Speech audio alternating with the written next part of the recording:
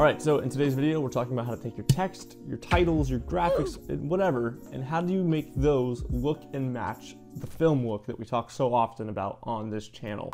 Look that films have on film only. Some movies and filmmakers who are Generally speaking, when you're editing and you make something look film, right, and you let's say you export it, it's gonna be grainy, it's gonna be blurry a little bit, your quality is gonna look like it's chopped a tiny bit. So how do we actually get the real, as you know, authentic, if you would, look to our text, titles, graphics, whatever. That's what we're talking about today's video. We're gonna make this quick, two minutes on the clock.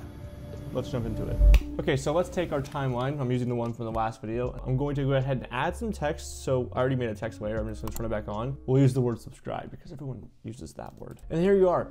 What can we do now? Let's go to our effects. Let's go type in Gaussian blur, and you guys should know this by now. I love this tool. Uh, double click it to apply it to the text layer. But before we go ahead and change the Gaussian blur, duplicate the clip. Because of the size of the text, you also want to think about this. You're going to have to go with a higher number the bigger the text is, and the smaller the smaller the text is on the screen. That being said, I'm going to add like 50. And then the top one, the one that we just duplicated, I'm going to go ahead and add like 10.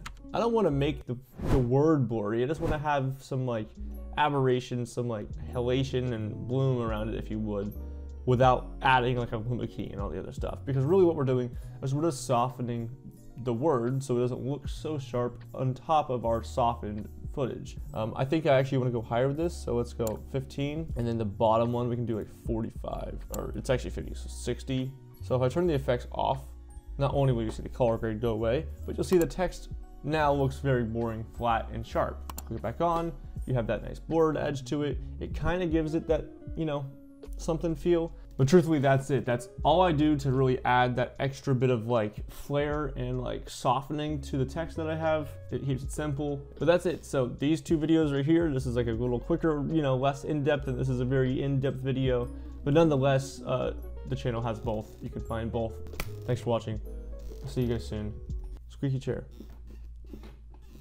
So annoying. All right, goodbye.